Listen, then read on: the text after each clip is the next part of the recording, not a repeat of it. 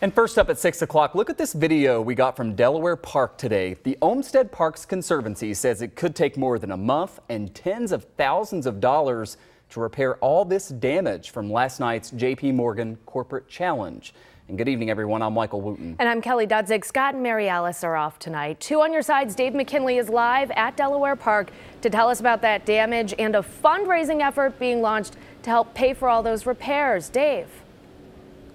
The damage was confined to a northeast section of the park. In fact, this area behind me, this is where a tent city for participants and sponsors at the popular 5K race had been set up. The area damaged also includes a small portion of the Delaware Park golf course. The public needs to get ready. Their Delaware Park is just going to look a little bruised for a little while. Take an event attracting 14,000 runners with 28,000 sneakered feet. Fold in what's needed to erect and dismantle the tent city for them to congregate and stir in an already soggy spring, and you have the recipe for one incredible mess. And by this morning, it appeared this one would need more than a sack or two of grass seed to fix. Yeah, it is. It's going to take a lot of equipment to roll it.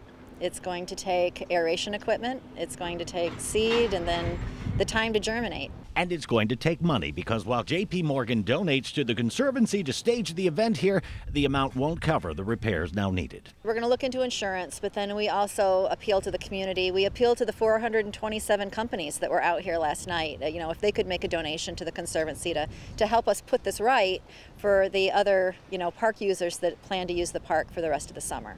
Things are so sloppy here that they couldn't even get the heavy equipment in that they needed to clean up the tents and such, so they actually had to build a plank road to bring some of that heavy equipment in. When even lighter vehicles could no longer navigate the deeply rutted mud paths without being bogged down, they charted courses beneath the tents where the ground wasn't torn up. Is it time to move this thing to someplace else, like UB North or something?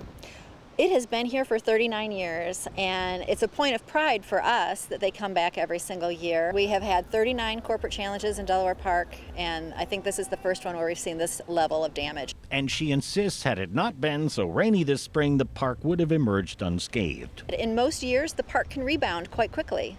Um, it's this is just a perfect storm situation. With another possibly brewing on the horizon. In fact, um, we think that this could be a lather, rinse, repeat, unfortunately, at, at MLK this weekend with Juneteenth, as we're expecting more tents and more soggy conditions.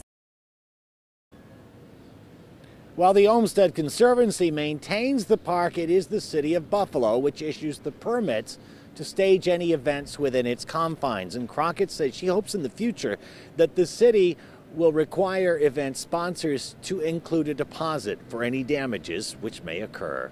At Delaware Park, Dave McKinley, Channel 2 News.